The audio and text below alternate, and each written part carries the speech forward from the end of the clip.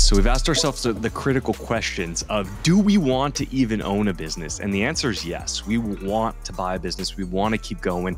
We're really excited. And so, where do we start? And the first place I always like to start people is research. Research, research, research. A little bit of research now will save you a ton on the back end. And so when I say research, I mean going out and talking to business owners, saying, hey, Jack, what do you like about running an HVAC business? What don't you like running about HVAC businesses? Because here's what's going to happen you're going to get feedback, you're going to get pros and cons of each. And then you can pick and choose which kind of problems you, you're going to have because you're going to have problems in owning a business no matter what. The difference is by doing the research up front, you get to choose those problems in the long run. And, you know, maybe you don't understand what those problems are now, but by talking to business owners, you will. You will dig in and they'll say, hey, you know, I have cash flow issues monthly.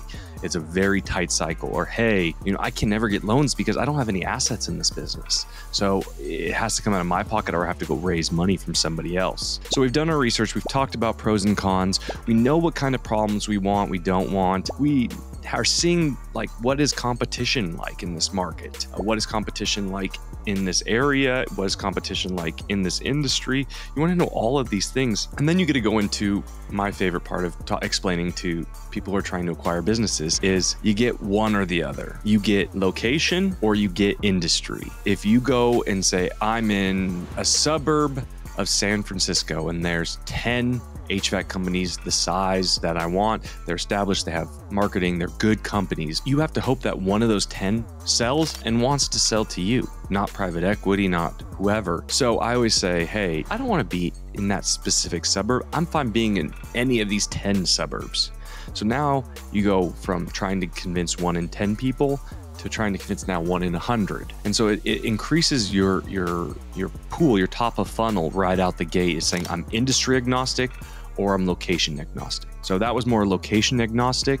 I want to be in general this region, Pacific Northwest or the South or the East Coast. Or you say, uh, you know, I really like the town I'm in. I love Denver, Colorado.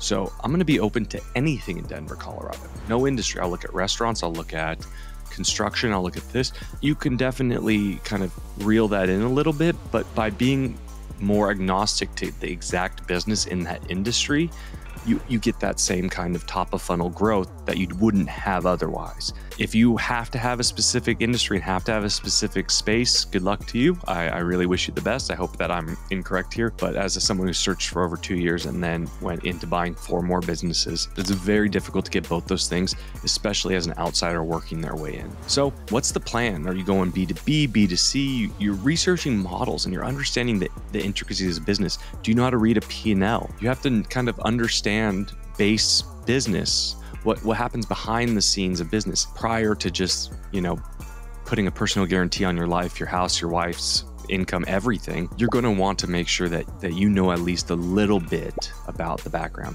a little bit about the industry that you want to be in, a little bit about business in general or marketing. Now we have direction, right? We've we've said we want to do this. We know where we're starting, and that is with research. We're doing our research. Now, the fun part we get to start searching. Stay tuned. We'll talk about the search next.